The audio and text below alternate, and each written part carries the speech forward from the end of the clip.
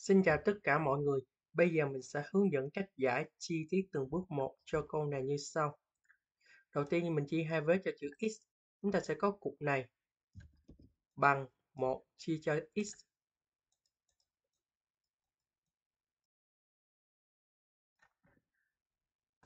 Tiếp tục, đây là cục f, cho nên chúng ta sẽ có đồ thị ở đây.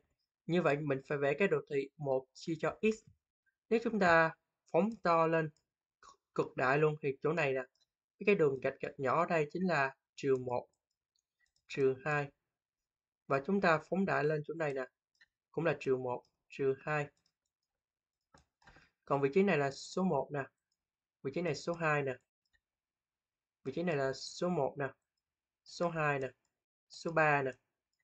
Thì chúng ta biết rằng 1 chia cho 1 sẽ bằng 1 1 chia cho trừ 1 sẽ bằng trừ 1.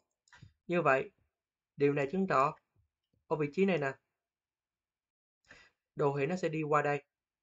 Và ở vị trí này nè, đồ thị cũng đi qua đây. Như vậy mình sẽ vẽ một cái đường tượng trưng thôi nha. Và đây chính, chính là đường của y bằng 1 chia cho x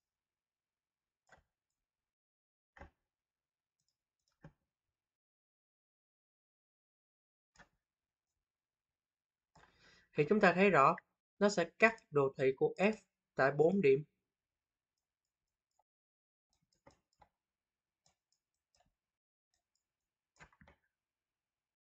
Như vậy, trong trường hợp này, mình sẽ đặt nguyên cái cục này nè. Hành chữ A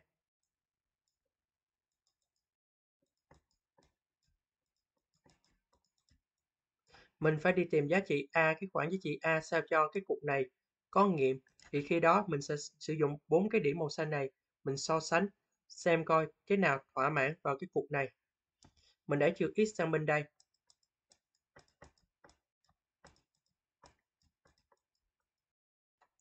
Sau đó mình bình phương nó lên.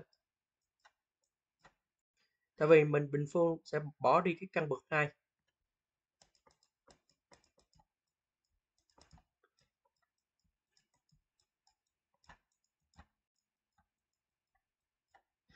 X bình x bình chúng ta loại đi.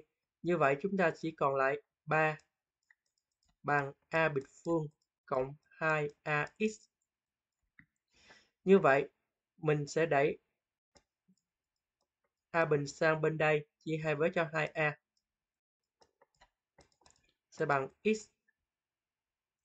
Tiếp tục, chúng ta biết rằng khi chúng ta đẩy trừ x sang bên đây thì chúng ta sẽ có x cộng a. Chúng ta biết rằng căn bậc 2 ở đây lúc nào cũng ra nghiệm phải là số dương. Như vậy, x cộng a bắt buộc phải lớn hơn hoặc bằng 0. Như vậy chúng ta sẽ lấy cái cục này nè, thế ngược vào x ở đây.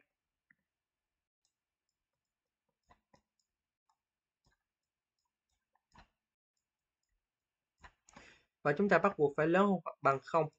Thì khi đó phương trình mới có nghiệm.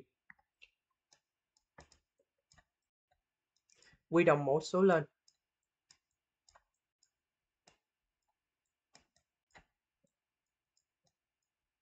Thì chúng ta thấy rõ 2a bình phương cộng với là trừ a bình phương. Thì chúng ta sẽ ra a bình phương. Chúng ta biết rằng a bình phương lúc nào cũng ra số dương, số 3 cũng là số dương. Như vậy cục này lớn hơn không? Như vậy để cho cái này lớn hơn bằng 0 thì 2a bắt buộc phải lớn hơn 0. Như vậy a trong trường hợp này bắt buộc phải là các số dương. Như vậy chúng ta chỉ có hai số dương thỏa mãn, đó là vị trí ở bên đây. Như vậy chúng ta chỉ có câu C là đúng. Tại vì sao? Khi chúng ta thế một điểm một xanh dương ở vị trí dương này nè, thì cái cục một xanh dương nó là giá trị của x mà giá trị của cục x lớn này nè là chính là cái A mình đã đặt ở đây. Cho nên bắt buộc cái cục này phải là chọn các hai số dương ở đây. Còn số âm mình loại hết